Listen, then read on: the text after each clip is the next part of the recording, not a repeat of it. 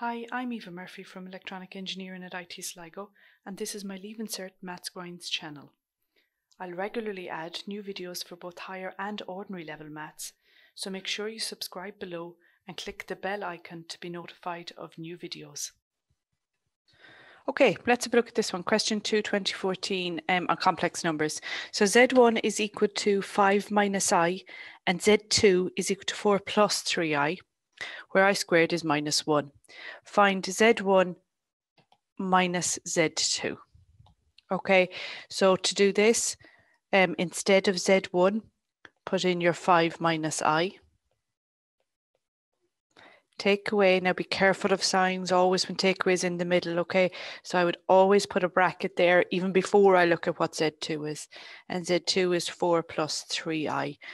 So because this has two elements into it, that minus is going to change the sign of both of these parts, okay? So in other words, you have 5 minus i minus 4 minus um, 3i. Okay, and then real, imaginary, real, imaginary. So group the reals together. So 5 minus 4 is 1. And then you have minus 1i minus 3i again will give you minus 4i. Okay, so remember when you're subtracting on the negative scale, there's minus 1, minus 2, minus 3, minus 4, minus 5.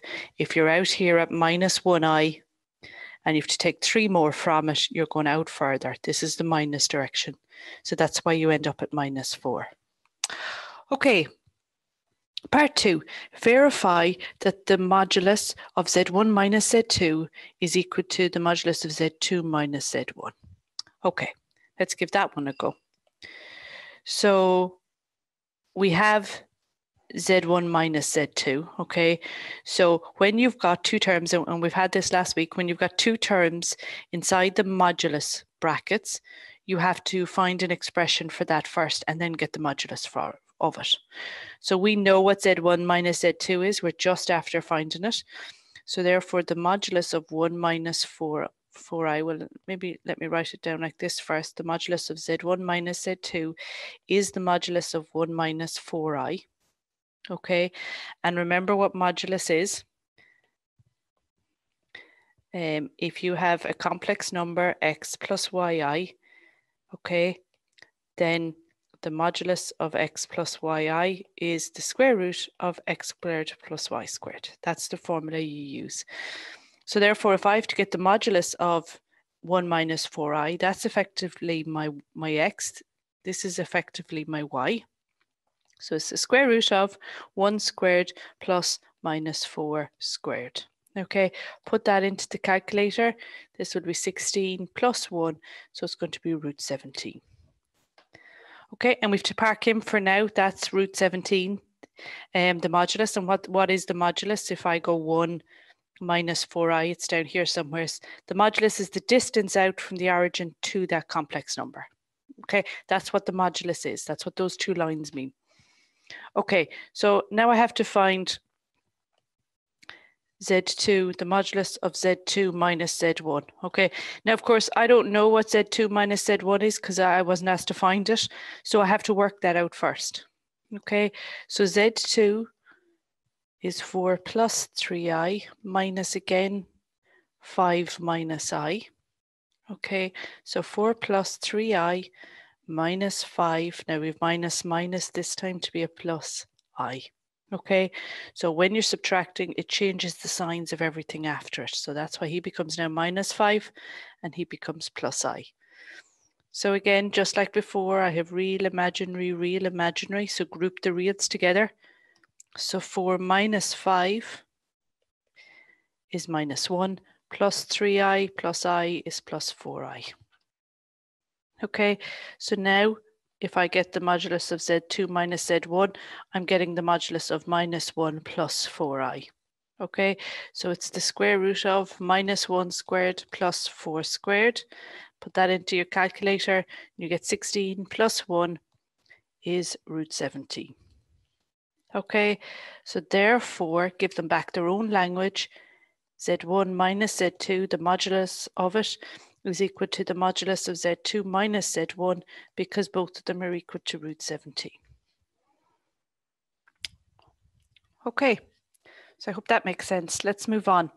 Give a reason, excuse me, why Z minus W is equal to W, the modulus of W minus Z will always be true for any complex numbers Z and W. Okay, so why is the modulus of Z minus W equal to the modulus of W minus Z?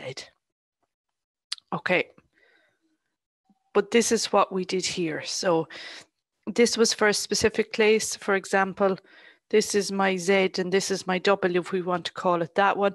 We just verified that Z minus W was equal to W minus Z. Okay, why are they always the same? Okay, well, I would argue that they'll always be the same. The modulus of them will always be the same because they they are involved with the same numbers. So, in other words, they've the same digits in them, but in many cases the signs change. Look at that. Okay, and when you square a number, whether it's positive or negative, you always get a positive. Okay, so that's why the modulus then will always be the same. So if, if we look at this case, the minus 4 squared was 16, but the 4 squared was always 16. When you square a number, regardless of whether it's positive or negative, it'll end up being positive once you square it, okay? So th that's the kind of answer that you, you need to try and capture in this question. Okay, um,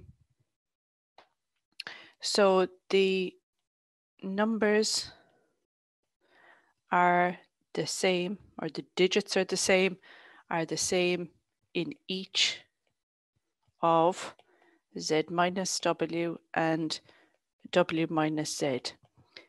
It's the signs that differ. Or, okay, or, or of course, a fancier way of saying this is the absolute numbers of both are the same because absolute means that the sign doesn't matter. Okay, but the way I have written there is perfectly fine. And then I would say when you square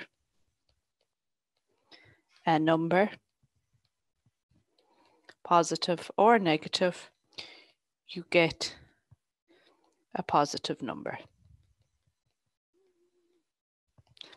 So signs don't matter.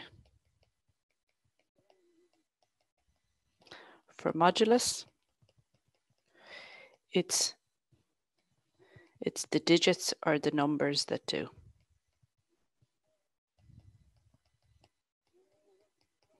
So the square root of a squared plus b squared will be the same.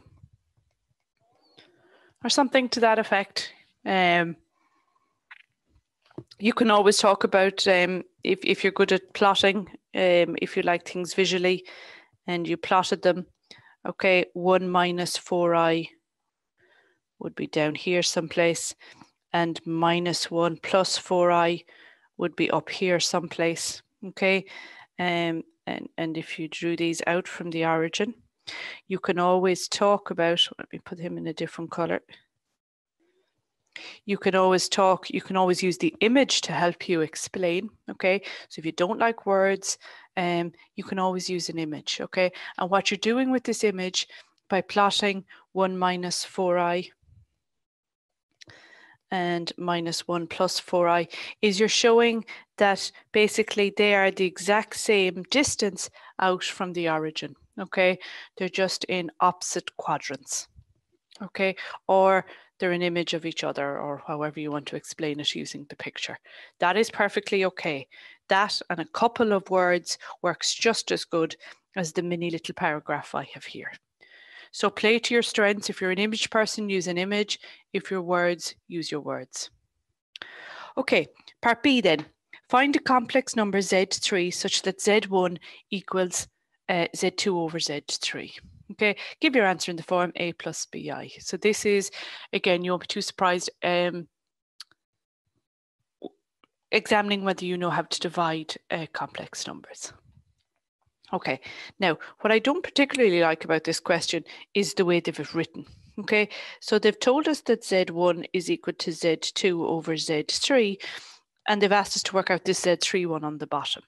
Okay, um, So we have to manipulate it first. Uh, so in other words, bring the Z3 up there. So you get Z3 times Z1 being equal to Z2. Okay, and then divide both sides by the Z1 so that you get Z3 on its own. Okay, so Z3 is Z2 over Z1, and that's how I find Z3. Okay, it's Z2 divided by Z1. Now, if you could remember your sine cos tan bit, this comes up a bit when what you need is here. And remember, I told you if what you need is here, then these two swap places, okay? So if you don't want to go through all the steps of maths, you have to remember that if what you need is here in this location, then these two can swap places. Okay, if you understand the steps that I did here, which is formula manipulation, then that is even better. Okay, so let's do it. So Z2, what was our Z2? 4 plus 3i divided by Z1, 5 minus i. So that's Z2 over Z1. Okay, right? And you'll know from our previous examples, we have to multiply. You're not allowed to divide by imaginary numbers. So we have to change the bottom to be a, a real number. We have to make the i parts cancel. Okay, how do we do that? You multiply it by the conjugate of the bottom. So what does that mean? That means you change this sign here of just the imaginary part, not the real part, just the imaginary part. So instead of that minus one i that I have there, I'm multiplying by the plus i. Okay, what I do to the bottom, I must also do to the top. Okay, and 5 plus i over 5 plus i is the number 1. Anything over itself is 1. Okay, this is also 1. Okay, so I'm just multiplying our original equation by 1. So it feels like I'm changing it a lot, but the net effect is you're not. And then we need to multiply it out. So just like we always do, it'll be 4 by everything in the second bracket, go back for the plus 3i by everything in the second bracket, and we'll do the same on the bottom. So 4 by everything in the second bracket plus 3i by everything in the second bracket over 5 by everything in the second bracket, go back for the minus i by everything in the bracket. Okay, and then let's multiply it out. 4 5s are 20. 4 by plus i is plus 4i. The bracket has closed, so I'm done with the 4. So I'm on to this bit now. 3i by 5 5 threes are 15i plus 3 and then i by i is i squared. All over on the bottom then 5 fives 25 5 by i is plus 5i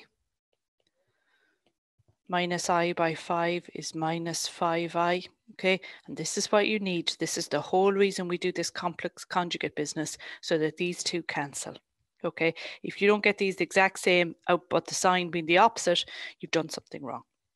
Okay, and then minus i by i is my last bit, minus by plus is a minus i by i is i squared. So once you're that far, cancel them two and then sub in for your i squareds. Okay, i squareds, they'll always say at the start of the question is minus one. So let's sub in for them. I'll have uh, 20. And I'm going to add these. 4 and 15 is 19i plus 3 times minus 1. I'm subbing in for my i squared. And on the bottom, I have 25 minus minus 1. Okay, so what do I have in the top then? 20 plus 19i minus 3. And on the bottom, I have 25 plus 1.